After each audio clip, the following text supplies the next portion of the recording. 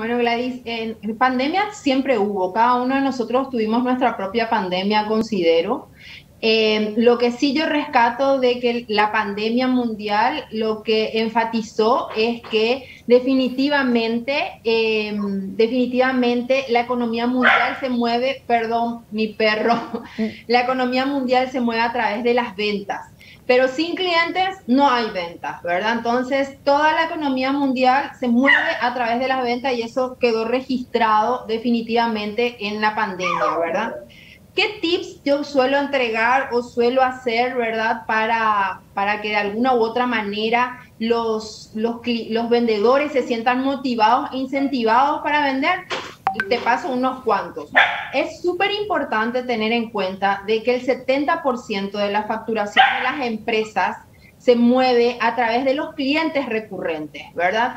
O sea, yo tengo mi propia base de datos, esa base de datos me ayuda a poder hacer las ventas de alguna u otra manera. Ahora bien, ¿cómo hago yo con la base de datos o cómo genero esa base de datos? Obviamente desde la parte de atención al cliente. Cuando un cliente ingresa a una tienda o cuando un cliente por algún motivo se contacta conmigo, mi prioridad es poder tener uno, el nombre completo del cliente, dos, el número de teléfono del cliente, como para poder hacerle seguimiento. Y tres, súper importante, saber e identificar qué fue lo último que compró o qué fue lo que le interesó al cliente.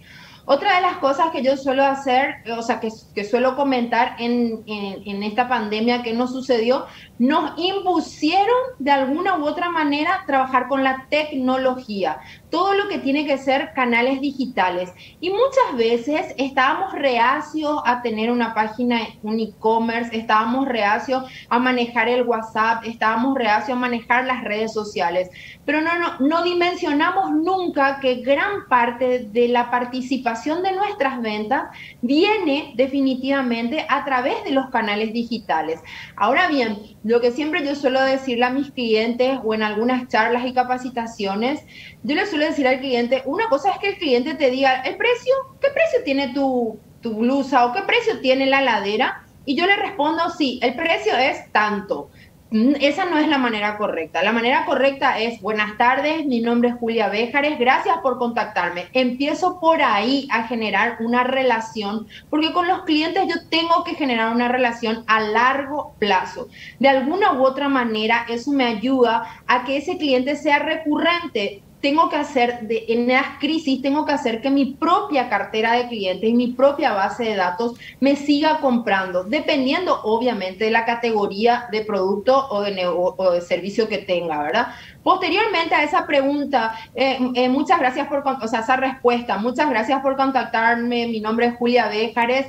Sí, el precio de esa heladera es de tanto. ¿Para cuántas personas es? En, usted eh, necesita una heladera de dos puertas, de tres puertas, porque muchas veces, ¿qué sucede? Y te habrá pasado a vos, Gladys, que vos preguntas un precio y decís, uy, qué caro mejor ese producto no era para vos y necesitabas un asesoramiento. Y eso es lo que nos falta en esta época de crisis, identificar efectivamente las necesidades reales del cliente o del shopper o consumidor para poder asesorarle correctamente. Crisis, siempre hubo crisis. Ahora bien, hay otro refrán y un eslogan que lo reuso y que es cierto. No se vende lo que no se ofrece. Si no hay ventas es porque no se ofreció.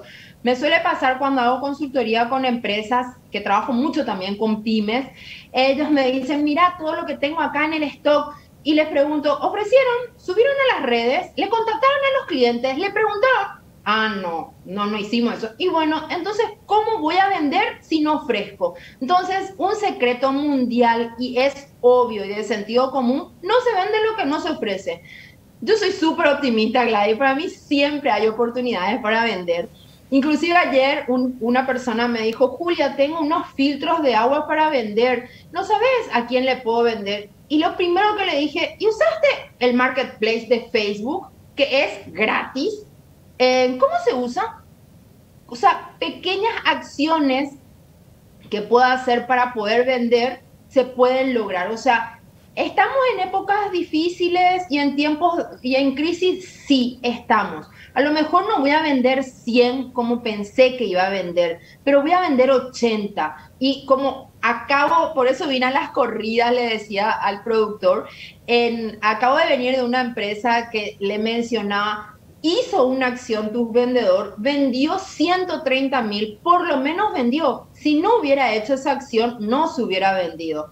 Otro de los tips que también suelo decir, mis estados de WhatsApp revenden, pero tengo que darle contenido de valor. Y no tengo que subir 800 estados de WhatsApp, sino que tengo que subir 5 estados de WhatsApp todos los días.